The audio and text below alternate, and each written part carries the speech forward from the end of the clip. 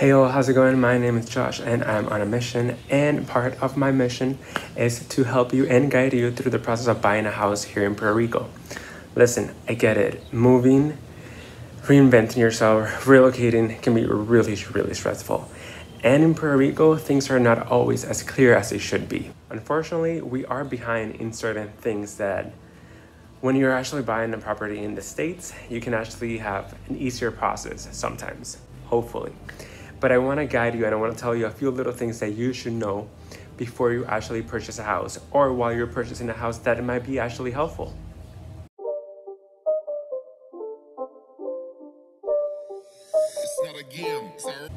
Again, my name is Josh and I'm a real estate agent here in Puerto Rico and I'm gonna guide you through these little steps. Okay, so first thing you should know is that we do have an MLS. However, you're not required to post your property on the MLS. So if you actually go to the MLS in Puerto Rico, you're gonna see that a lot of properties are actually not listed there. Our biggest house platform is called Clasificados Online and I'll put a link down below on my description so you can go directly there. And I'm gonna guide you through the website as well so you know how to actually look for houses. And you're actually gonna see that it looks really old. It, it, it almost looks like it's still in 1994. Well, unfortunately, it has not been upgraded. I don't know the reason for it, but that is what everyone uses and it's the biggest platform so you are gonna be able to find every single property on the island there.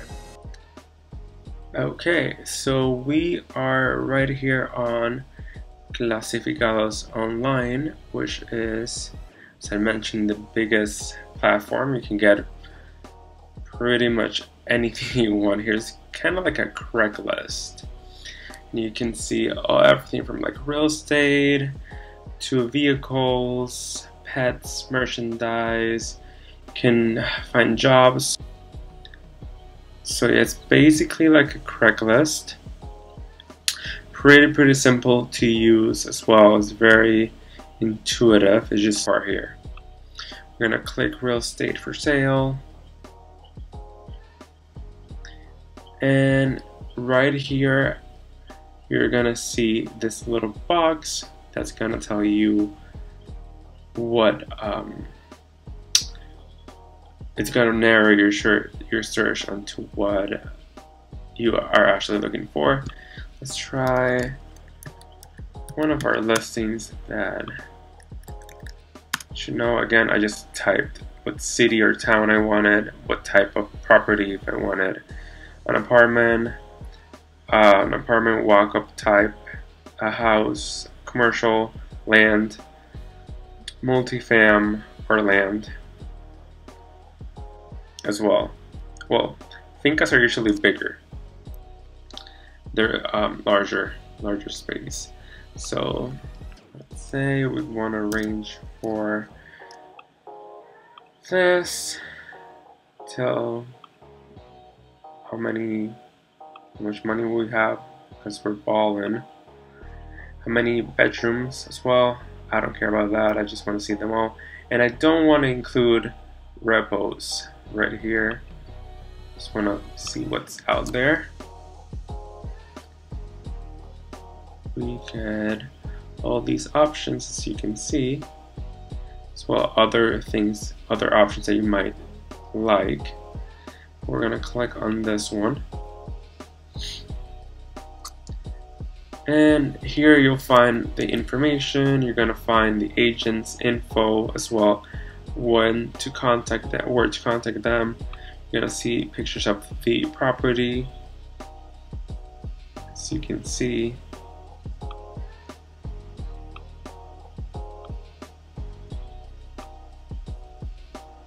As well a description this one has a YouTube page as well. Alright. Another thing that you should know is that not every single loan is going to work with every single property, so you need to get to know your loans. If you're looking and you're set on buying a condo, most likely you're going to need a conventional loan, which you're going to need a 20% down payment for it. There's some rural and there's some FHA approved condos, but they're very, very limited. So if you're set that you want this type of property, I hope that you listen to me and you actually get more information on this because you're gonna need a conventional loan. Hear me out now. Hopefully you won't. Hopefully the condo you want is an it's officially approved, but most likely don't say I didn't tell you. And another little thing is that you need to have a lot, a lot of patience when it comes to buying a property in Puerto Rico. Closing can take up to 60 days. Some companies are getting better about this. Hopefully, it won't take up to 60 days for you. Just be very prepared for this, that it can happen. It has happened before, and hopefully, it won't happen to you, but at least you're prepared. But if you have a real good real estate agents. They will be guiding you through the whole process. My last suggestion or little tip is that you have to keep your options open. This is especially if you're looking in certain markets, you're gonna have very limited properties to look at. And if you're looking for certain towns, that can be even harder. So that means that properties are limited and they go bad, they can go by real fast. What I'm trying to say is that if you really like a property, don't waste any time. Be actually open to make an offer right there or after you saw the house and you meditated on it for a few minutes because it can if it's a hot market it will go by real fast. If you have any other questions feel free to write them down below. I would love to help you guide through this process if you're moving to puerto rico. That's amazing and i hope you really enjoy it and let me know if you have any other suggestions for future videos. I would love to hear you out. So until next one